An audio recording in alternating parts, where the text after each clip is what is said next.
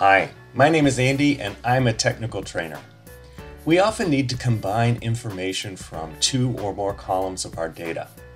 If these columns are numbers, we use numerical functions like, for example, the sum function. For columns that contain character values, we use other functions.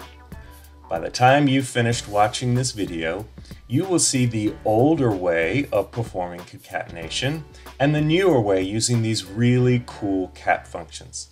I also want to share with you a great shortcut called variable lists. I want you to see the old way of performing concatenation just in case you inherit code from other people. Then you'll be able to recognize it, and if you wanted to, you could even update it. And I want you to see the new way because it's so much easier. In the old days, we used the double vertical bar to concatenate character columns, which as it turns out can be kind of messy. I'll show you what that looks like in just a minute. However, ever since version 9 of SAS, we've had access to these really cool family of cat functions. And just like my boss, Cat Truxillo, who is also really cool, you've probably seen her in uh, YouTube videos. These cat functions are just as amazing. So let's go ahead and get started. I'm going to use the sashelp.class data table, so it's going to be easy for you to follow along if you would like. Let's take a quick look in the sashelp library. I am using SAS Studio 5. I'm going to navigate over to the sashelp library. Let's open it up. Let's find our class table and double click on it. So you can see there are actually five columns in the sashelp.class table. We're going to focus in first on the name column, which is character, and the age column, which is numeric. We eventually are going to use more columns, but we're going to use this to get us started. All right, let's take a look at some code. Come over to my program editor and we're going to start here at the top by taking a look at the cat s function. The cat s function combines values by first removing any leading or trailing blank spaces, and then is going to return a concatenated string. Handling blank spaces is really the key advantage of these new functions. When you use the older method, the double vertical bars I was talking about, you actually have to take functions of functions and then you have to keep track of it all. So here's what we want to do. We want to be able to combine people's names and ages. Let's see how easy this is to do with the cat s function. I'm going to start here at the top where I'm creating a new data set called report and we're going to set the sashelp.class data table as input we're creating a brand new column called combo. Notice combo is the only column that we're going to be keeping in the new data table called report. We're going to create combo by using the cat s function. Notice the open paren and then the close paren as well here at the end. Anytime you want to use SAS functions, you need to specify those parentheses and inside of those parentheses is where we're going to be placing our arguments. Let's take a look at what we're going to feed into the cat s function. The first argument into the cat s function, as it turns out, is the variable called name. Then, after name, what we want to do is concatenate that with a text string. And here's my text string. I'm going to add in a comma, a space, the word age, a colon, and then another space. And then after that, the third and final argument to this cat s function is going to be the variable called age. So let's think about an example here. Let's say that the current value of my variable name is Andy. And let's say that the current age is 35. Then here's what we're going to end up with. We're going to end up with Andy, then we'll have a comma space, the word age, the colon, another space, and then finally the age. You didn't think I was going to actually tell you how old I was, did you? All right, so let's go ahead and try that. I'm going to highlight that code and then let's run it. Notice how nice and clean my SAS log is. In other words, SAS has automatically converted those ages into character values and doesn't even complain about it in the log. We actually like to have a clean log. It makes us feel good that we're not having issues that we need to worry about. Let's actually take a look at the output data. And so you can see here are all the student names. They're concatenated with a comma, space, age, colon, another space. It's a little hard to see here, but it's there. And then finally their ages. Awesome. So that's the new way we would do it. Let's go back to our code and let's take a look at the older way that we used to do that uh, with concatenation using those double vertical bars. And once again, just in case you inherit some code, you'll know exactly what this is doing. So here I'm creating the same variable called combo. We're going to get that by taking the trim of the name, so we're feeding a variable into a function. Then we're going to concatenate that with that text that we saw, the text string that includes the comma and the age. And then we're going to concatenate that with the trim of the age. So you can see that that's a lot more complicated. Now, if I run this code, the other thing that I do want you to notice, in my log, we do get that note that say numeric variables uh, values have been converted to character. So, you know, it's nice to use the cat uh, series of functions because it cleans a lot of things for us. All right, let's talk about another cat function. And the next cat function that I want to talk to you about is the cat x function. So there are going to be times that we want to combine values to create a character string. But we want to insert a delimiter of some sort in between all those values, like for example a comma or a space to create that list. Let's use the catx function, which is going to concatenate, add the commas, and eliminate extra leading, trailing, and blanks all together, which is one of the reasons that I love it. It sort of does everything for us.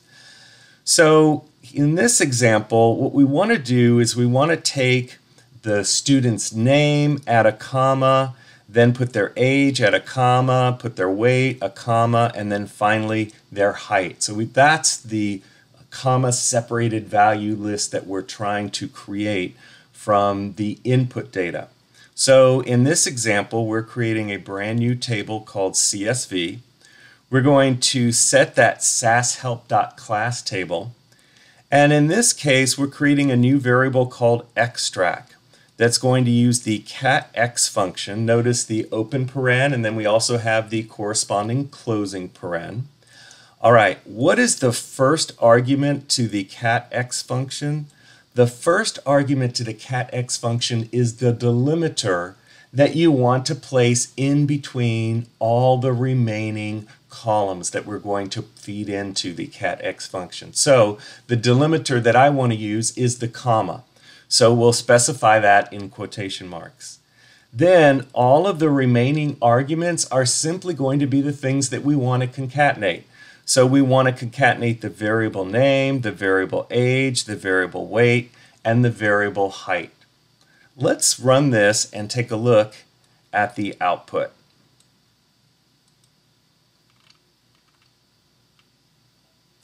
Notice my log is nice and clean.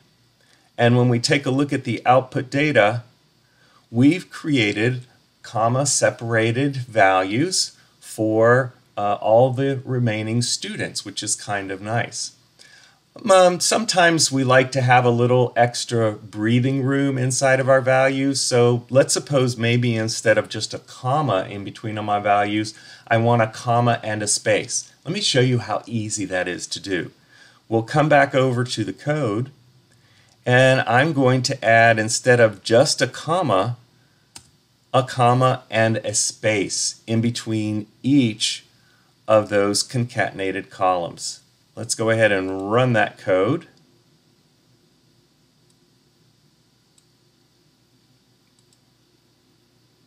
and take a look at the output. So now we have a comma and a space in my comma separated value. One thing to keep in mind is that when you're using the catx or the cats function, we really want to pay attention to the length of the returned variable. When you assign a result to a variable whose length who's not been set yet, uh, for example, like a new variable, just like we're doing, the default length of the variable, as it turns out, is 200 bytes. Let me just prove that to you. If I come over here into my table and I right click on the table and select the column properties, you can see that that one column has a length of 200 bytes. Let's click on cancel there. So how can we fix that? We can fix that with a length statement that looks something like this. I'll come over to the code. And here after we set the new table I'm going to set a length statement for my variable called extract. And let's set that to be $50 so 50 columns long or columns wide we'll run that let's take a look at the output data I'll do a right mouse button click take a look at the column properties and you can now see that it is 50 characters long instead. All right, let me come back over to the code. The final thing that I really want to show you is this really cool shortcut called variable list.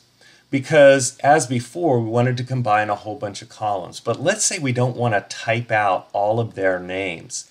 Here's where variable lists come in handy. So for example, what we want to do is we want to create a comma separated list of all of the variables in the class data set. How are we going to do that? Well, I'm still going to use the catx function. I'm still going to feed in as the first argument the delimiter that's going to go in between all the columns that we want to concatenate together.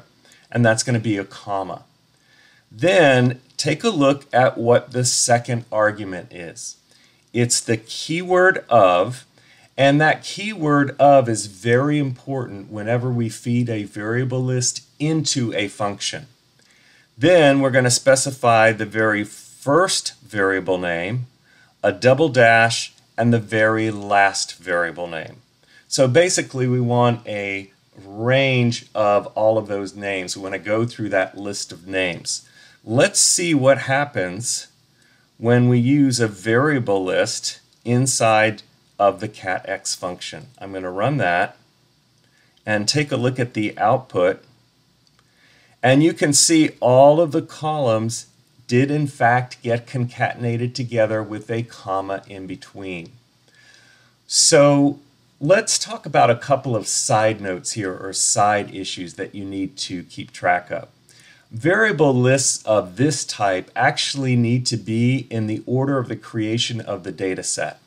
And if you don't know what that is, you can always examine the descriptor portion of the table in order to find that order. The other thing is this type of variable list that I just showed you with the double dash here in the code is actually called a named range list. And there really are uh, a total of four different types of variable lists. I've included a link below so that you can get more information about that. But I want to also show them to you really quickly. And I'm going to start simply by making a change. Let's, for example, change the delimiter. And let's request that we only want the character columns out of the data table. Watch how easy this is for me to do. So I'm going to change the comma into a single vertical bar. And then if I only want the character values, I'm going to add the character keyword in between that list of variable names. Let's go ahead and submit that code and take a look at my output. And you can see that now we're only using the two character columns that were in that data table. It turns out that there was the name and the gender. And so now they're concatenated with a vertical bar. Let me go ahead and show you here I've got examples in my code and I'm also going to make this code available to you down below. Here are other examples of variable lists that you might be interested in. For example, if we use the keyword of and then we specify month 1 a single dash through month 12, we're going to get all 12 of the months. Perhaps, maybe instead, what we'd like is any variable that begins with the word month. We can use the keyword of, then month, and then a colon. And then finally, this is actually one of my favorites, we can use of underscore all underscore in order to include all the variables, and then I don't have to type them in. Well, listen, I hope that you learned something useful during our short time together. While there are other cat functions that I simply didn't have enough time to cover, check out the links below. I haven't seen any dog functions yet, but we can always hope that our SAS developers are working on those. I want to thank Chris Hemedinger, one of my SAS heroes, for helping to inspire this video. Leave me any questions or comments you might have. I promise to get back to you. And if you like what you saw, don't forget to subscribe. We'll see you next time.